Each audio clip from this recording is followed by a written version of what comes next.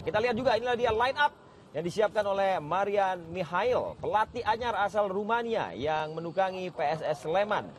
Dan kalau kita lihat dari nama-nama yang diturunkan, apa yang memang menjadi kunci permainan PSS Sleman menurut Anda? Iya, saya kira di lapangan tengah ya yang akan menjadi fokus untuk bisa mengerek permainan yang lebih baik supaya bola ke depan karena Bokasvili striker yang sangat baik tentunya sepanjang supaya itu lebih uh, lancar lagi. Ada Top juga dan Cawor yang akan diharapkan bisa banyak memberikan asis ya kepada Bokasvi. Ya, kita telusuri juga bagaimana line up yang sudah disiapkan oleh Coach Rama Darmawan. Ada si kembar Bagas dan juga Bagus. Kemudian juga ada nama striker mereka musim lalu yang masih dipertahankan Gustavo Tokantins. Super Series 2023. PSS Selamat berhadapan dengan Barito Putra. Berhasil dicuri oh, Cawor dan masih mencoba untuk menggocek bola. Ia berikan kepada Tot Pere. Sebuah umpan dalam kotak penalti. Oh kemelut tadi. Cukup menciptakan kepanikan Betul. tadi dalam pertahanan dari Barito Putra. Ya manuver yang sangat baik ya dari Cawor ya dari sisi sebelah kiri melakukan drive in dia. Namun ada miskomunikasi ya dalam melakukan kombinasi di final third tadi. Kita lihat ini dia agak ragu tadi Ferry apakah melakukan syuting tapi ternyata mengirimkan umpan yang sudah terlanjur lebih dulu offside. Bola sudah diangkat ke dalam kotak penalti. Masih belum menemui sasaran. Masih ada Todd Ferry terlalu lama tadi sentuhannya. Kesempatan untuk melakukan counter attack. Dan kita lihat Rizky Pora mencoba untuk berlari dengan kencang sambil menunggu support dari sisi sebelah kiri. Coba untuk melewati satu pemain. Masih Rizky Pora. Oh, dia mampu meloloskannya kepada Bagus Kavi. Baik sekali. Oh, baik sekali Bagus. Dan Bagus coba untuk menyelinap dalam kotak penalti. Bagus Kavi, umpan dari Jadi. Oh.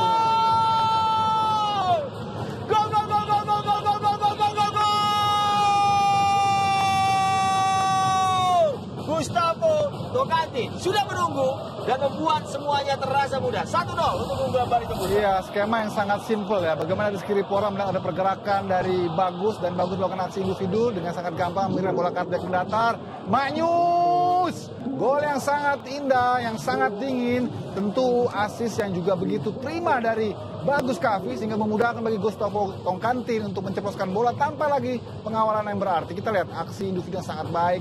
Gagal Kim Jeffrey melakukan hadangan dan kita lihat sebuah kesempatan kembali bagi PSS Sleman. Mereka sedang tertinggal satu gol dan Kim Jeffrey yang dipercaya untuk menjadi aktornya. Bola sudah diayunkan ke dalam dan sebuah uh. header tadi dari Wahyudi Hamisi. Sangat baik ya. Kita lihat set piece yang begitu terukur, terencana dengan baik. Wahyudi Hamisi yang datang mendapatkan momentum untuk melawan heading. Tapi arahnya masih tinggi sekali dalam memainkan grip ataupun rencana serangan. Oh. Bagus. Baik sekali. Baik sekali bagus Kavi dan kali ini Murilo Mendes coba untuk masuk ke dalam kotak dan Murilo. Itu dia. Oh. Itu dia.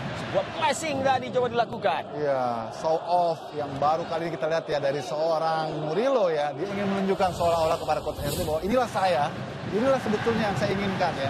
Bagaimana eksekusi yang itu baik ya, hanya saja persoalan akurasi, tapi angle yang diambil. Ya, kita lanjutkan jalannya pertandingan di penghujung jalannya babak pertama. Ricky Cawor melepaskan diri Ricky Cawor dan Irka Mila. Irka Mila yang sebenarnya tinggal menyontek bola di dalam kotak penalti. Sepertinya belum menemukan hari terbaiknya. Luar biasa ya, luar biasa tidak dipercaya ya itu ya. Sulit dipercaya. Kita lihat bagaimana Cawor ya dengan enak sebenarnya memberikan asis. Dan kita saksikan bagaimana peluit akhir Tanda berakhirnya 45 menit babak pertama telah dibunyikan. Ya baiklah pemirsa kita lihat kembali bagaimana pertarungan yang dihadirkan oleh PSS Sleman. Ega Rizky harus bersiap-siap diuji kali dalam sebuah tendangan bebas. Bola diayunkan dan sebuah header. Oh, itu dia tuh. Itu dia tuh. Sulit dipercaya. Dua kali untuk kesempatan sekarang ya. Pertama kita lihat kiri Kamila miss kick dan sekarang miss header. Ya dalam posisi yang sangat nyaman ya, untuk membelokkan bola dengan mudah. Sayang sekali sulit dipercaya ini. 95 persen mungkin peluangnya ya. Kita lihat. Itu dia tuh. Hmm. Ini diharapkan bisa membuat dia semakin nyaman kerjasama dan memberikan kontribusi yang berarti bagi Barito. Ya, kita lihat kali ini ada Ricky Dwi dari sisi kanan coba mengayunkan bola ke dalam kotak Bola crossing kali Itu dia. Oh, Ricky Cawar dan kita lihat nyaris menjadi sebuah defensive error tadi. Ya. Saya tidak mengerti apa yang terjadi sebenarnya di lini depan dari PSS Sleman ya. Peluang demi peluang yang terbuka. peluang yang begitu eh, emas saya kira ya, tapi miss kick, kemudian miss heading, miss heading. Bogasvili. Oh, terbuka kali ini Ricky Cawor dalam kotak penalti dan kita lihat Abdu ada di saat dipantulkan kembali. Ricky Cawor. Apa yang terjadi? Oh! Sebuah eksekusi dari Ricky Cawor masih belum cukup untuk mencari gol tadi. Sudah mulai terbuka ya, sudah mulai menemukan bentuk permainan yang diinginkan. Bagaimana permainan back to back pass dari Ricky Cawor dan juga Abdul Lestalu. Sayang sekali penyelesaiannya masih meninggi dari Ricky Cawor. Ada Rizky Pora di sana. Pemain 1-2. Mendes di dalam kotak penalti. Dan Penalti. ia terjatuh di dalam kotak. Sehingga wasit langsung menunjuk titik putih. Ya, sangat disayangkan ya. Momen yang harusnya bisa dengan tenang dihalau ya oleh pemain belakang. Kita lihat oh, Rahim Sanjaya ya. ya saya kira ini agak diving ya Stu ya. Sebenarnya dia lebih dulu melompat ya. Tidak lebih dulu menguasai bola. Ya ini yang membuat Ibrahim Sanjaya agak bingung. Iya, karena dia nggak merasa mengail kakinya ya. Tapi memang benturan itu di set dengan sedemikian rupa, striker memang harus agak oportunis ya. Ya mencari dan memprovokasi ya. Iya, betul. Ya, saya kira ini memang pantas untuk, diperdebatkan. Ya, namun apa pun itu, keputusannya tampaknya sudah mutlak tentunya dari wasit dan titik putih ditunjuk sehingga kita lihat bahwa ancaman berikutnya datang bagi PSS Sleman dari situasi tendangan 12 pas di mana Anthony Pintus harus diuji kembali kemampuannya. Yes, betul. Ini kita akan lihat ya bagaimana kualitas reading the game, pembacaan arah bola dari Antonio Pintus.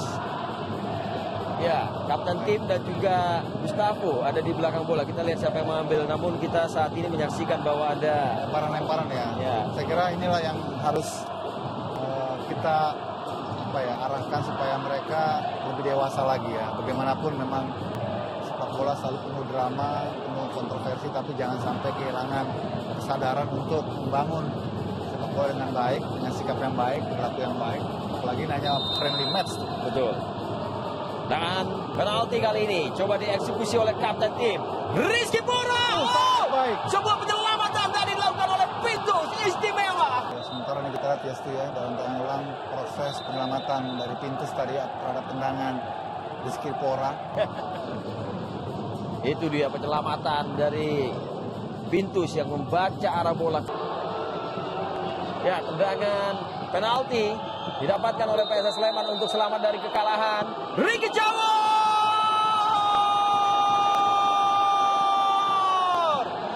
Gol penyama kedudukan itu datang.